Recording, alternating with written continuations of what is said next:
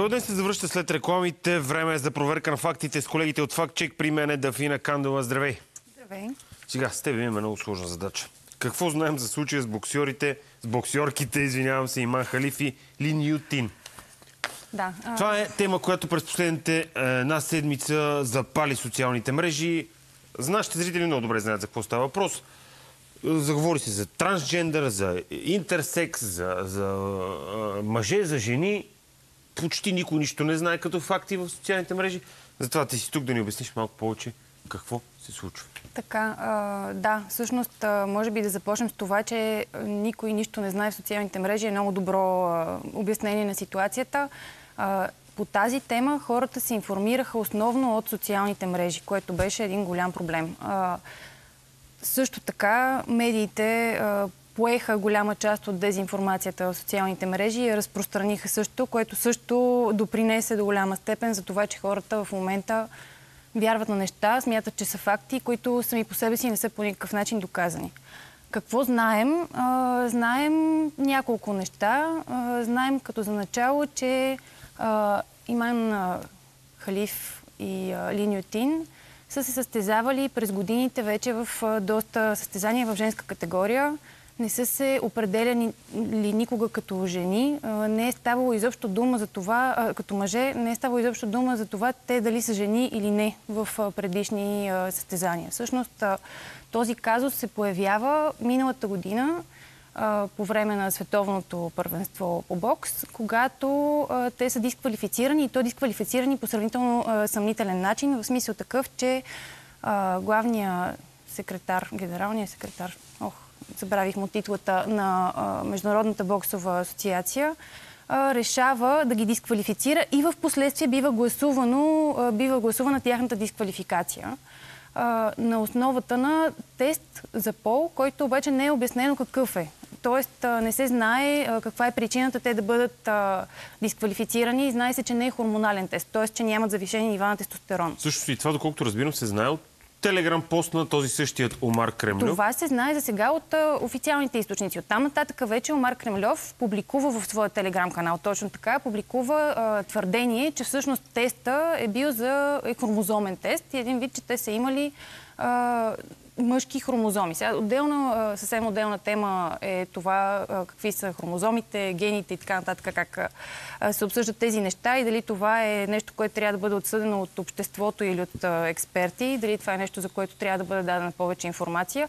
Но така или иначе на този етап това, което се случи и което ние наблюдавахме от самото начало на разпространението на тази информация, е, че хората получиха противоречива информация, в последствие много невярна информация и в последствие тя някакси придоби статута на истина.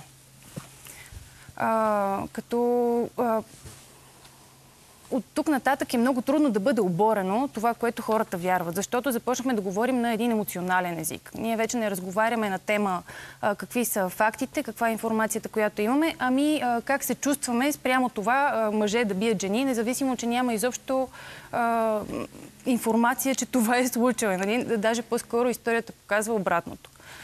А, и така стигаме до всъщност, всъщност до един много, много безумен момент, в който трябва да се връщаме към самото начало на историята. Сега имаме, ти ни каза за позицията на Асоциацията по бокс. Каква е да. позицията обаче на Международния олимпийски комитет, който всъщност трябва да вземе решението? Те имат ли право да, да, да участват в състезание на Олимпиадата? Нямат ли право да участват? Така, Международния олимпийски комитет излезе с становище, че подкрепя участието на двете боксерки в Олимпийските игри, че не поставя под съмнение техния пол и също така потвърди, че те отговарят на изискванията за участие в конкретната категория като жени.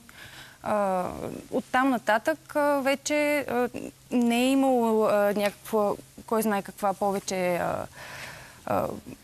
полемика по въпроса от страна на Не и в официалните органи, но, не но, но, но имаше в социалните мрежи. Но имаше много Те ли се оказаха, мрежи?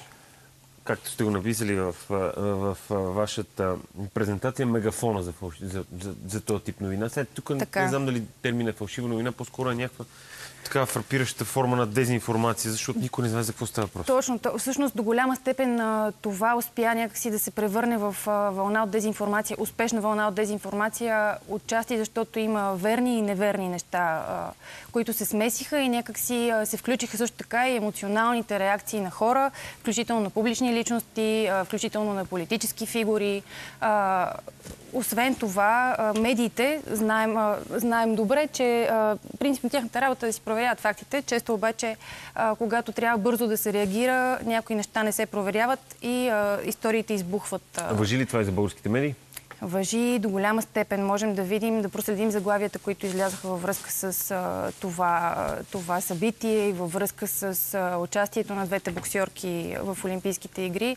Може да видим коментарите на журналистически фигури, които също бяха доста така съмнително подкрепени, по-скоро с емоционални убеждения, отколкото с факти.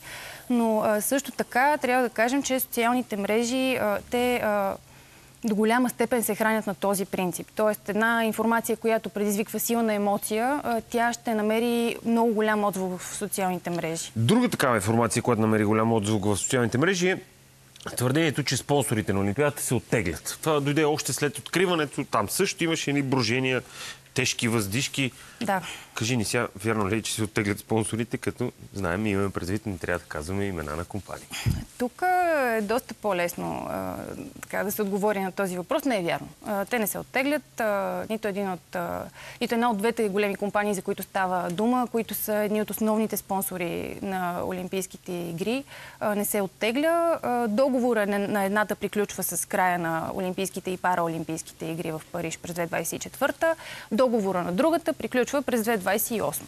Тоест, те включително не са имали нито една от двете компании, не е имала изказване, с което по някакъв начин да покажат, че те са против каквото и да е, което се случва в рамките на Олимпийските игри, но тези твърдения, макар и неверни, се разпространиха точно по същия начин, на същия принцип, защото имаше така един силно отново емоционален отзвук на, след откриването на Олимпийските игри.